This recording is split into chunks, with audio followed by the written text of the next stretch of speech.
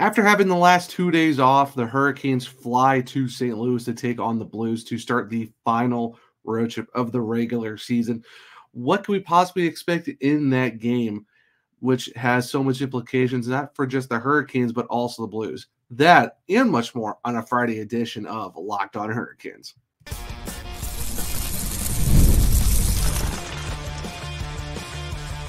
Your Locked On Hurricanes, your daily podcast on the Carolina Hurricanes, part of the Locked On Podcast Network. Your team every day.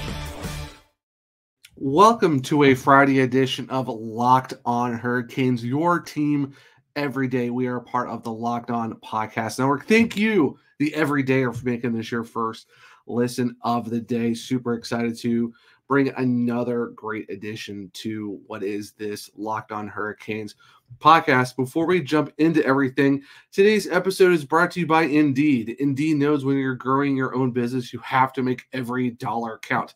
That's why with Indeed, you only pay for quality applications that match your must-have job requirements. Visit Indeed.com slash locked on to start hiring now. Terms and conditions apply.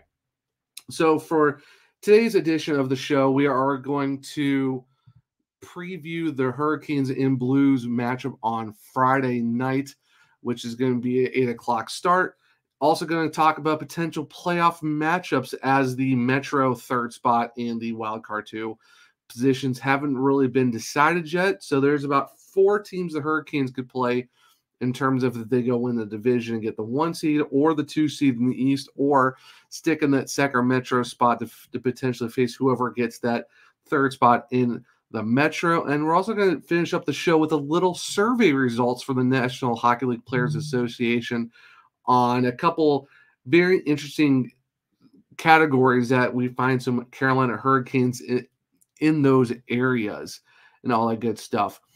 Uh, so with the Hurricanes playing the Blues. It is the final matchup of the season as the Hurricanes play the Blues back in Raleigh on January 7th. So this is probably the first time in since January that the Hurricanes have played the Blues.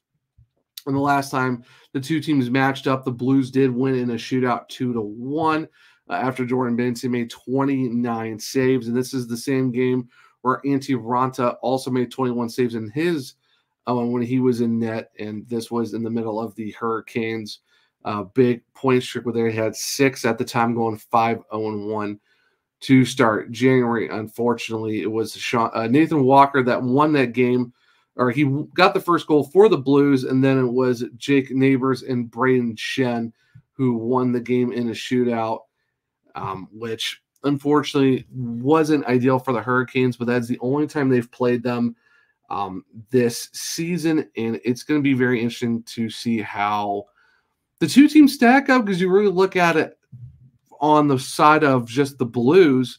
You're looking at a team who, going into the game, have a 0.3% chance of making the playoffs. They basically have to win out and have to hope that other teams like Vegas and then, you know, and everyone else, basically who in the wild card two spot needs to kind of lose a lot of ground, and the Blues need to get a lot of help just from other teams beating them, and then the Blues go games themselves. So it's going to. There's a lot of storylines going into this one for the most part. Like I said, the Hurricanes, they're just going for seeding at this point. Are they going to catch the you know New York Rangers go in the Metro, or is it just going to be they're just going to fight for a sec? You know, the second spot's already locked up for them. Now it all comes down to go in a division.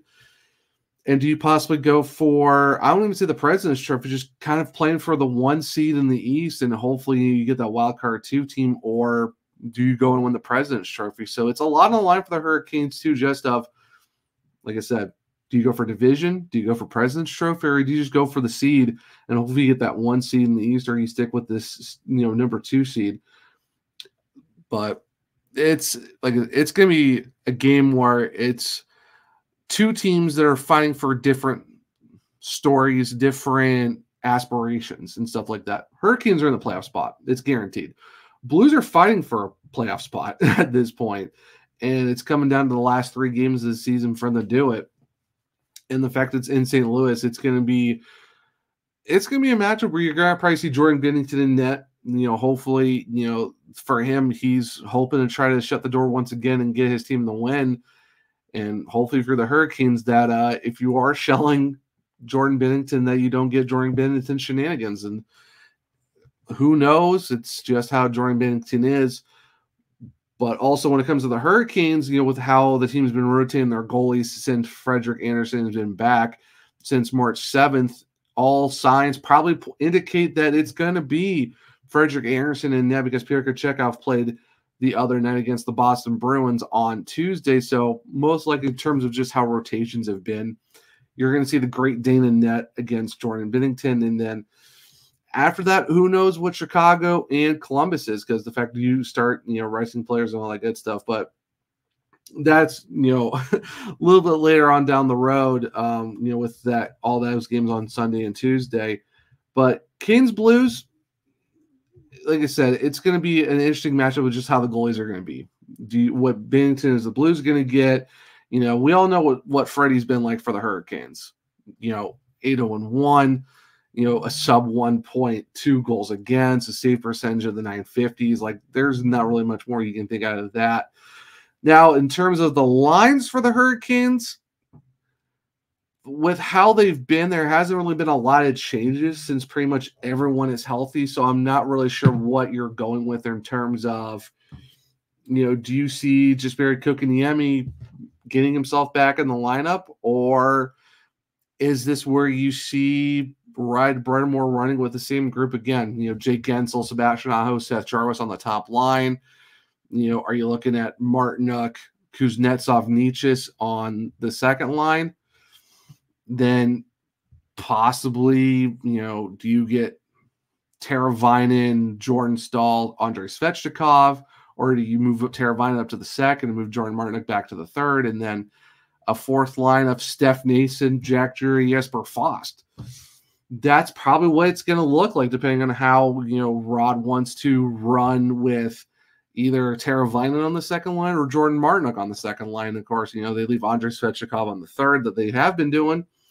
It's a possibility as well. And that's how they've been doing it for the last few games is where unless Jesper Fast is sick or someone else is out ill, Kotkaniemi is the odd man out right now in the forward core. And, you know, it's it stinks to see for a guy like that where he's still trying to prove that, you know, he's worth that $4.8 million contract that he has. It's only the second year of it, too. So, the him being a healthy scratch right now is probably not ideal for him.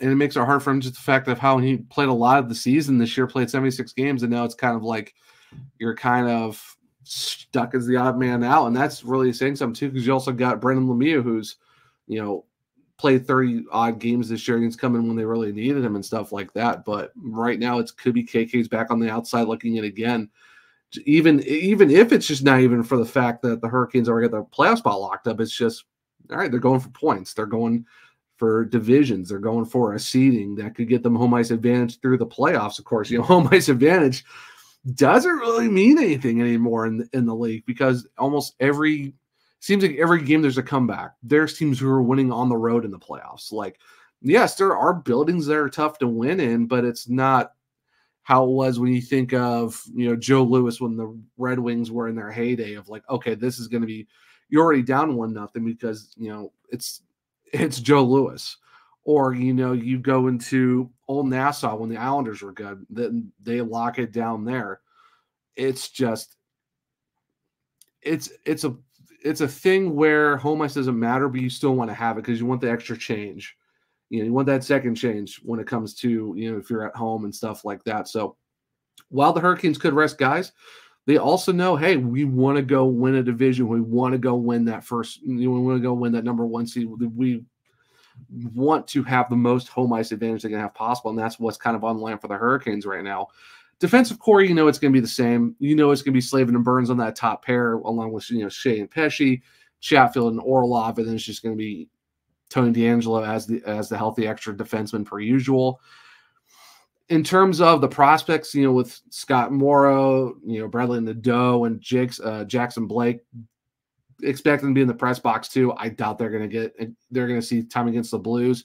You might see one of those guys in against the Blackhawks or the Blue Jackets, maybe all three, maybe just a combination of the two, or maybe none of them see ice time in the regular season. But just being able to be in the room, like I said on yesterday's show for Thursday, that it's just you want them in the room, being around the guys and stuff like that. So it's going to be probably the same lineup, unless maybe a couple of guys flip flop two different lines. But I don't see any healthy scratches coming in. I don't see KK drawing in or Brendan Lemieux unless you know Rod Brind'Amour and his group think you know maybe it's gonna be a little more physical. Let's throw Brendan Lemieux in just in case, or you know maybe some guy needs a break even though they had two days off. Maybe throw Kotkaniemi back in.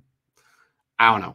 It's gonna be interesting, but I think it's gonna be a good matchup overall. You know, it's it's always a, a tight game between the Hurricanes and the Blues, uh, especially since you got you know former Hurricane Justin Faulk. You know, he hasn't been there in quite some time, but you know, it's always it's always a good indicator of how the team plays against a former Hurricane, and especially one like Justin Faulk.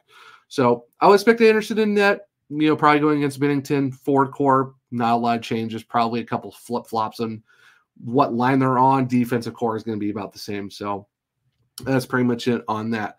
So before we get into segment two, we're going to talk about possible playoff updates, uh, which we'll get to here in a second on a Friday edition of Locked On Hurricanes. Life insurance is very important and it's a good safety net for your family, but trying to find the right policy on your own can be time consuming and overwhelming. Policygenius is the country's leading online insurance marketplace. It saves you time and money so you can provide your family with the financial safety net starting today. With Policygenius, you can find life insurance policies that start at just $292 per year for $1 million of coverage.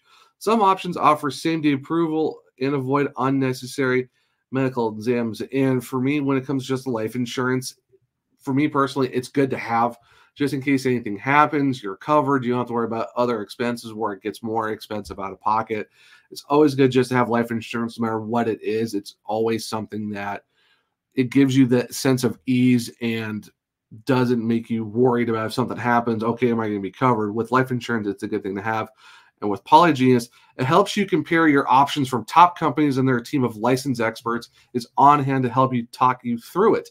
Talk to a team of award-winning agents who will walk you through the process step by step, and it's easily it's easily to compare quotes from America's top insurers in just a few clicks to find your lowest price. Your work life insurance policy may not offer enough protection for your family's needs, which is then even worse. It may not come with you if you leave your job. So it's always good to be covered. And with Policygenius gives you unbiased advice from licensed expert supporting team, thousands of five-star reviews on Google and Trustpilot from customers who found the best fit for their needs. Check life insurance off your to-do list in no time with Policygenius.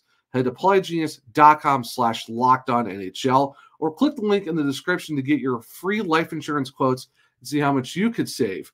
That's policygenius.com slash locked on NHL. Welcome back to segment two of Locked On and Hurricanes, your team every day. So it's very, we got a really like chaotic end to the Eastern Conference in terms of playoffs because right now, most the the top three spots in the Atlantic are locked up. The top two spots in the Metro are locked up, but it's in the wild card one spot's pretty much locked up too.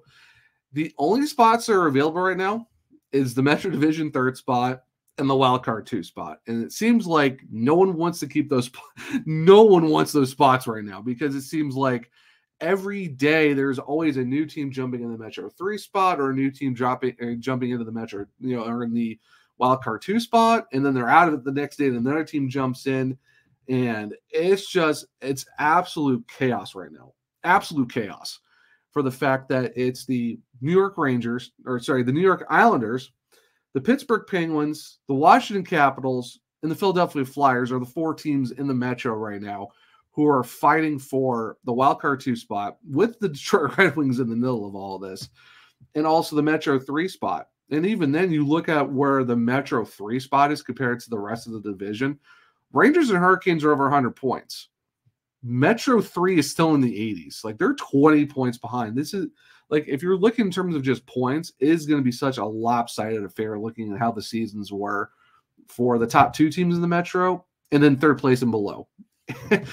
and I'm not saying it's going to be a gimme because it's the NHL. Anyone can beat anyone. I mean, we obviously seen that in recent, you know, the recent few seasons where Columbus Blue Jackets sweep the Tampa Bay Lightning. You know, the Florida Panthers beat the juggernaut that is the Boston Bruins last year after they set, you know, a record for most wins and most points in a regular season. So it's the playoffs too. Like we've seen eight seeds go make the Stanley Cup final, LA Kings, Nashville Predators, and stuff like that. And the, in, eh, the Edmonton Oilers when they go when they go play the Hurricanes in 2006. So it's the playoffs, man. Anyone can beat anyone. Like I said, it's not going to be a gimme for the Hurricanes in the first round because you got you got to go play the games. You got to go beat everyone. Doesn't matter how your path is. And right now, it's you know who would have thought you see the Washington Capitals up there with a minus 30 goal differential, or you go see the Pittsburgh Penguins, who not even a week ago people thought they were out. They thought they were done, and now they're in a spot where it's they could leapfrog and go to the wild card two spot, or they could leapfrog and go to the Metro three because they're they're not that far behind the Islanders. I think last time I checked, they were like one point behind, and I know all three teams played on Thursday. You know, all four of those teams played on Thursday night, so it could be. We're looking at a whole different scenario coming into Friday, and you know, on today, and it's just the fact that you have four potential teams for the Hurricanes to face, and that's if the Hurricanes go win the Metro, and then possibly get the number one, you know, spot in the East. If they get number two, it's going to be Tampa regardless. It's going to be Tampa in the, in the wild card one spot. So if the Hurricanes get number two seed in the East, if they don't beat out one of the Atlantic teams, then you're getting Tampa. Straight up, that's all it is. Now, we're basing this whole scenario on if they go get the number one, the number one seed in the East, they get home ice for the entire playoffs as the number one seed, and or the possibility of they go and stay in Metro two and they face whoever gets that Metro three spot since everyone wants to play hot potato with it and not really want to give it up at this point. So as we're looking at it right now, one of the teams is the New York Islanders, who the Hurricanes faced last season in the first round of the playoffs, where they did knock them out in six games. It was a really tough battle, and unfortunately, Teuvo Teravainen got hurt at one point, and it was just an absolute dogfight in the first round. That's not even before the, the Hurricanes had to go play the Devils and then the Panthers in the second round and then the Eastern Conference Final.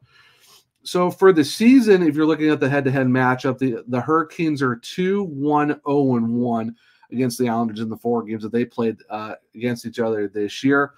16 goals for for the Hurricanes, and then they gave up 14 goals in those four games to the Islanders, with the goal differential of being the Hurricanes had four goals per game, and then the Islanders had 3.50. And with me covering, you know, being the hockey writers beat uh, beat writer, I was actually at the game uh, where the Hurricanes lost in overtime to the Islanders. Where and that was the same game when Sebastian Aho scored a goal with like less than two seconds left, which was like just the pop in that building was absolutely insane of how loud that you know that goal was, and that was a really tough fight for both sides. But you kind of know what you're facing with the Islanders, and it's you know we're gonna try to keep every show we're gonna try to update until those we can see more of those X's in the playoff spots, but with the Islanders, you know what you're going to get. You faced this team last year, and they might have a couple different additions and stuff like that. But for the most part, it's the same team. You kind of know what you're going to be fighting with.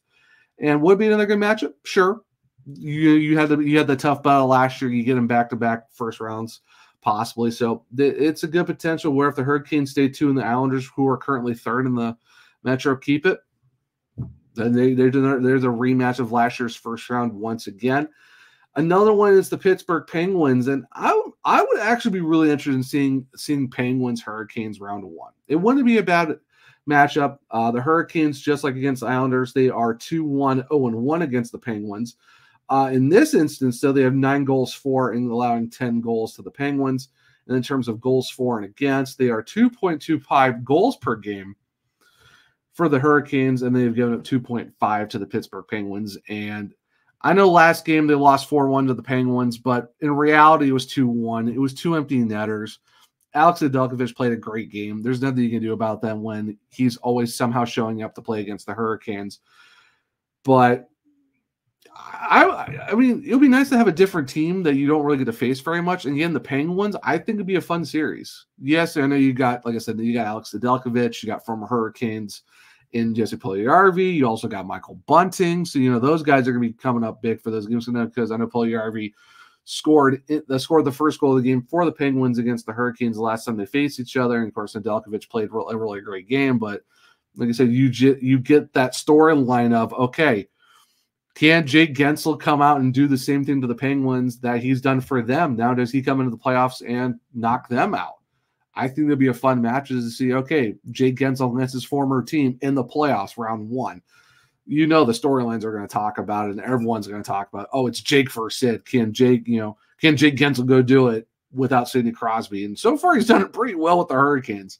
You know, getting over 20 points in 14 games he's been with the team. So I think that'd be a great matchup. And of course, yeah, and of course, you can never overlook you know Kris Letang, you know, Evgeny Malkin, Sidney Crosby. And Sidney Crosby is just Sidney Crosby. So I mean, that guy is an absolute machine. Like he's like a thousand points in his career. It's just it's just it's crazy how good Sidney Crosby is, and on and I know and just the fact that just in terms of just the goals for and against, it's it's tight. It's a tight one, and yeah, you don't want to get Sidney Crosby, you don't want to you know stuff like that. But Penguins Hurricanes, just for the storylines alone of Jay Guentzel versus his former team after getting traded by the at the trade deadline, first round playoff matchup, you know, back in Pittsburgh when they go up there. I think if you're at if you're talk if you're asking me what series I would be rooting for, it, uh, while it might be tough to, just how the season record was and just the stats of like goals for and goals against and stuff like that, I would still take the Penguins. The Penguins would be a really fun matchup if you ask me. Um, another one is against the Washington Capitals, where the Hurricanes are 2 0 0 and 2. So never lost in regulation to the Caps. Did have two games where they went to the shootout. Unfortunately, lost both of them. Um, but in terms of goals for, the Hurricanes have scored 17 goals to the Caps 13. And then in terms of goals for per game, it's 4.25 for the Hurricanes, 3.25 for the Capitals. And uh, the, the last time they. just the absolute insanity of was the fact that 6-5 game was absolutely bonkers. The two goals got taken away. Hurricanes score late to force overtime. They go to a shootout it is what it is. But luckily, the Hurricanes won their last game against them. You know, you get another matchup. You know, tw- 2019 playoffs. Hurricanes. You know, come in as the underdogs. You know, win Game Seven in double overtime in Washington to go to win your first playoff series since 2009. So you got another good matchup possibly. You know, you got you know a, a, an instant rival. I mean, a rivalry every single time these two teams play each other. I would not be surprised if that was the case. If it was these two teams, even though the Capitals, for whatever reason, people thought they weren't going to make it. Somehow, with a really bad goal differential, they're still finding a way to make their you know presence felt, especially since uh, we try and go for the wild card two spot. And then the other one is the Philadelphia Flyers, where the Hurricanes are 3 1 0 0, scoring 11 goals and only giving up eight. And in terms of goals for per game, it's 2.75 for the Hurricanes, two uh, games against for the Flyers. If you asked me two weeks ago, I've been okay with playing the Flyers. I mean, it would have been a fun matchup. In fact, you got Rod against Torts. Unfortunately, it's just this massive skid that the Flyers have been on, just the way they've played over the last you know few weeks. Oh, that if they make the playoffs, it's going to be a miracle and it's going to be a wild card two spot. It's just, I don't really see the Flyers going for the Metro three right now. The fact of how far behind they are because they got to go past the Penguins, Detroit, Washington, and the Islanders, even to you know just trying to get through those teams to get a wild card two spot, and then you know all those Metro teams to even get the Metro three spot. So I really doubt that's going to happen for the Flyers most likely I can see either Isles, Pens, or Caps taking the Metro three spot, or the Hurricanes do something and get that you know number one seed in the East, not the Presidents, but at least the number one seed in the East, and go and get you know one of the wild whoever plays in the wild card two spot. But if you ask me, I would love to see Canes Pens just in terms of storylines of Jake versus Sid, you know, obviously Michael Bunting and Puljujarvi and Delkovich against the Canes. I think that'd be a really, really fun one. So we are going to, so before we get to segment three, uh, when we're talking about the NHLPA survey results, which is going to be very interesting to see what Hurricanes esque players or facilities or whatever made it onto this list that was voted by the players, of course, because it's the Player Association, right here on Locked on Hurricanes. When drafting your fantasy team, do you ever wish you could handpick the best stars for your business team? If you're building your talent roster, you need Indeed. Indeed is the hiring platform where you can attract, interview, and hire all in one place. Don't spend hours on multiple job sites looking for candidates with the right skills when you can do it all with Indeed. Find top talent fast with Indeed's suite of powerful hiring tools like matching, assessments, and virtual interviews. Hate waiting? Indeed US data shows over 80% of Indeed employers find quality candidates with whose resumes on Indeed matches their job description the moment they sponsor a job. Something I love about Indeed is that it makes hiring all in one place so easy because with Indeed, matching as soon as you sponsor a post, you get a short list of quality candidates whose resumes on Indeed match your job description. Boom! It's hiring at warp speed. Join over 3 million businesses worldwide using Indeed to hire great talent fast. Indeed knows when you're growing your own business, you have to make every dollar count. That's why with Indeed, you only pay for quality applications that match your must-have job requirements.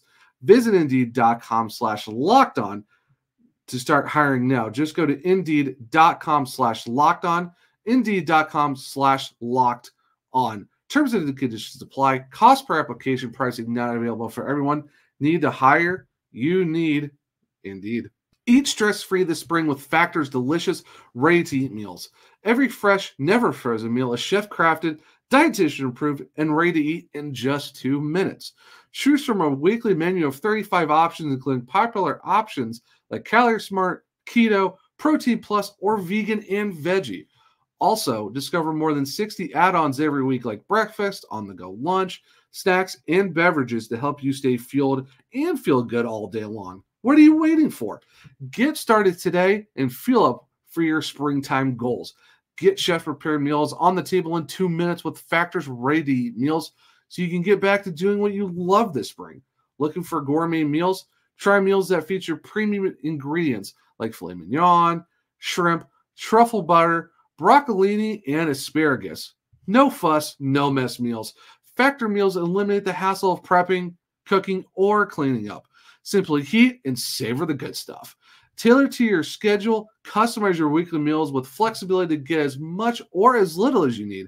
Pause or reschedule deliveries to suit your lifestyle. Factor is your solution for fast, premium meals without the need for cooking. We're celebrating Earth Day all month long. Look out for the Earth Month Eats badge on the menu for our lowest carbon footprint meals. Head to factormeals.com slash locked on NHL50 and use code locked on NHL50 to get 50% off your first box plus 20% off your next box. That's code locked on NHL 50 at factormeals.com slash locked on NHL50 to get 50% off your first box plus 20% off your next box while your subscription is active. Welcome back to segment three of Locked On Hurricanes, your team every day. So, for this quick and fun third segment, uh, the NHLPA recently put out their survey results uh, that was voted on by the players of certain, you know, what facilities or players and just overall different things. And I thought this was very interesting for the fact that when it comes to which player is the most difficult to face in their own end. Jaccob Slavin of the Carolina Hurricanes actually got 7.90% of the vote, with Victor getting 20.32 and Connor McDavid getting 9.48, which is kind of interesting because the fact you think of Jaccob Slavin, all he's known for is his great defensive style, his lack of, of giving up penalties, and just the way his stick, like the way he handles his stick, the way he plays defense it's just you kind of think you could get more votes than just 7.9%. But you know what? He got third place votes. You you love to see for a guy, you know, that is Jaccob Slavin, because you know the second C stands for clutch. In terms of how he's been this year, uh, he's got five goals and 35 points. And the funny thing is, with his five goals, he's got two shorthanded goals, which is absolutely, you know, you don't really think of Jaccob Slavin as a scorer for the fact that he's got two shorthanded goals. And it was like really early on in the season. It's just really great to see. And it's just, it's fun to see how he's been playing this year. And of course, you know, as the former 2020 2021 Lady Byng winner, should have won 21 22, but that's a different story. But the fact that he did it while only giving up two penalty minutes all season, it's it's crazy to think. Two penalty minutes all season. He's got one penalty, and it was a defense, it was a delay of game puck over the glass penalty. So in, in reality, he gave up no penalties, no regular penalties, just a random puck over the glass. But I guess you can't be perfect. So it is what it is. Uh, but other great stats for just how good Jaccob Slavin is. He's got 70 takeaways this year, and he's only given up 32 pucks. So for the fact he's got 70 takeaways to his 32 give ups, what more can you ask out of this guy other than just being able to put the best players in the league in his back pocket, like you know, Connor McDavid, Nathan MacKinnon, Auston Matthews? It's just the fact of how good of a shutdown defenseman Jaccob Slavin is. Trust me, he should have got he should have at least some Norris trophies by this point, but I digress. That's a whole that's a whole different podcast to talk about just how weird the, the Norris Trophy is now how all that voting is. But Jaccob Slavin at this point should already have a couple, but and like I said, should have one more Lady Byng. but I digress. But it's good to see that Jaccob Slavin bought, getting voted on by his peers to be really, really difficult on his own end with a 7.9%, which was third among that whole group. And the last thing too we have to talk about in terms of this was which arena is the toughest to play in as the visiting team and first place which i'm kind of surprised is the t-mobile arena at 31.36% i guess it would be tough because the, the place is loud you got the pregame stuff and they call it the fortress so i can kind of get why it's hard to play in vegas just because of how loud it is how raucous the fans are and stuff like that so i, I kind of get it i kind of get it but pnc arena 16.31%, which was, you know, second place, obviously, which I, I, it should be higher. It should be higher than 16%, but you know what? It's fine. It's cool. No worries. I completely understand. Um, you know, you bias aside, yeah, it's still good to see their 16%. Totally biased, should be higher, should be 20, 25%, but because the fact of everyone knows how loud PNC is, everyone knows how loud the Caniacs are and stuff like that. It's a tough like the Hurricanes this season are 20, they went 27, 10, and 4 at home. Sold out all 41 games at home. And you know, we talked about that earlier this week of just how great that milestone is for the record and the sellouts and stuff like that. But you look at the playoffs, man, it's a, it goes up a whole another level for the Hurricanes and their fans. And that's where home ice advantage really kicks in because of the fan base. So if you're the Hurricanes, if you're the visiting team, if you're the visiting team coming to PNC, especially for playoffs, every guy has said it. That place is loud. That place is tough to be in. Like even if Evgeny Kuznetsov is like, I've been in a lot of those barn in that barn a lot when it's been tough, and it's got to be good on the. It's kind of nice to be on the good side of that for once. And it, it the, every player in the league knows. Like even Mike, when uh, Michael Bunting came in, it's tough to play in Carolina if you're the visiting team because they are on you and they are loud all game, especially in the playoffs. So it goes to show that the players around the league recognize PNC is such a tough place to play because the team is tough to play against, and the Caniacs make that place really loud. And it's why it's one of the loudest barns in the league. Like, don't let anyone fool you. It is PNC. So don't get it twisted. We all know who what the loudest barn is in the league, and it's right there in Raleigh at PNC Arena. But that will wrap up this episode of Locked On Hurricanes. Thank you to the Everydayer for making this your first listen of the day. And just thank you for everyone for the support for the first week here running the podcast. It's been a lot of fun just interacting with everyone on YouTube, you know, Twitter, anything on social media. Just thank you all so much for just taking the time and just listening to me and becoming an everydayer. And that's what really counts because I want to make this an interactive podcast. I want to have fun talking to everyone on social media, on YouTube, in the comment section like let me know what you think of like the who are going to be the key players in the Kings first Blues game. Who do you want to see the Hurricanes play in the first round? Let me know in the comments below on YouTube. Love to interact with everyone over there. Make sure to subscribe, turn on the bell notification so you don't miss when a new episode drops, and also hit that like button on the video because it helps me out. You know, it brings great support and share with all your friends because the more subscribers we get, the more we are seen and we can do more cool stuff because we're right now on the road to 1,000 subscribers. We're almost up to 790 right now. The goal is 1,000. So make sure to, you know, subscribe, share, and all that great stuff. Also, too, if you do listen to the audio version, please subscribe and leave a five star uh, re- um, rating. And if you leave your review, I might just read it on the podcast. Because, like I said, I want to have fun with everyone and make this a really great show and all that good stuff. If you want to follow me for anything up to date in terms of what I'm doing with the hockey writers, this is their beat writer. Uh, you can follow me on One True Zach on Twitter. That's O N E True Zach. Or if you want to you know keep up with everything that's going on with the podcast, go to LO underscore Hurricanes. And if you also want to check out my other podcast that I do, it's called The Search Cats. We're just a weekly show that, you know, it's a little bit more longer format if you want that hour and a half type of show as well. So make sure to go check all that good stuff out. I do have a link tree in my bio where you can find all my writings and all the podcasts that I do covering your Carolina Hurricanes. But that will wrap up this edition of a Friday show of Locked On Hurricanes. I will see you guys on Monday to start another week of covering your team every day, five times a week, right here at Locked On Hurricanes. And as always, let's go, Canes.